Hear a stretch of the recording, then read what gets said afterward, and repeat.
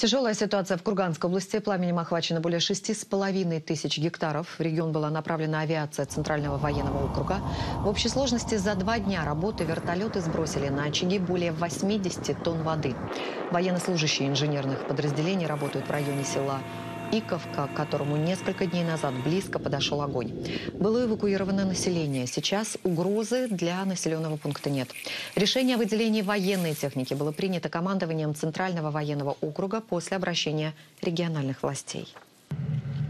Прибыли из Челябинской области для оказания помощи населению, для создания минерализированных полос и не распространения дальнейшего пожара в сторону населенного пункта Иковка. Для ликвидации последствий задействовано 50 человек личного состава с шансовым инструментом и два экипажа инженерных машин.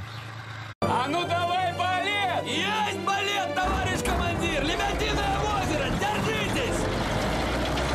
Т-34. Учись, Квазимода! 9 мая в 21.00 на канале «Россия».